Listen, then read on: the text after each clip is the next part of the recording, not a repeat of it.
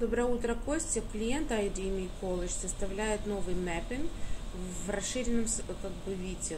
Я расшарю этот э, файл для вас, чтобы вы могли посмотреть. Будут следующие колонки. SH категории, с IDM категории, то есть соответствием категории. Кроме этого, они включат туда еще keywords и negative keywords, то есть э, должны будут учитываться эти фильтры при импорте. Number of uh, products это um, просто для них, uh, для их сведений колонка. Здесь будут перечислены Sage Suppliers, то есть uh,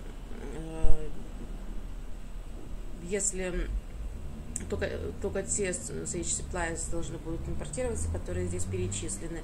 Также они еще добавили колонки Assembled in, Decorated in, Made in, Recycled Notes. Это для их внутреннего пользования колонка. А, то есть эти поля тоже должны будут учитываться при импорте товаров. А, то те значения, которые здесь проставлены, чтобы все эти значения, все эти условия соответствовали при, при импорте.